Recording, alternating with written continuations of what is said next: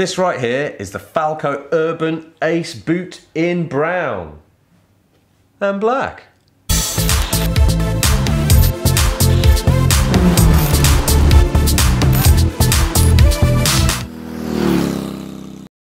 These boots are fully CE approved and they are made from something called distressed leather, which wasn't a frightened cow or anything to do with that. It just means that it comes looking like it's already been slightly worn, if you know what I mean. It's weird because it looks like it's been slightly worn, but actually it kind of hasn't when you actually touch it. It's very, very decent stuff. And what lives under here is a high-tech membrane.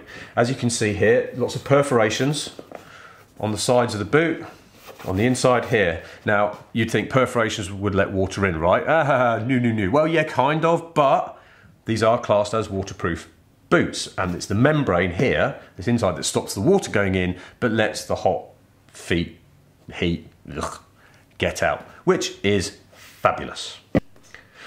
Going to the front here, we have a reinforced sole, and for other armor, we also have some D3O heel cups on the go as well.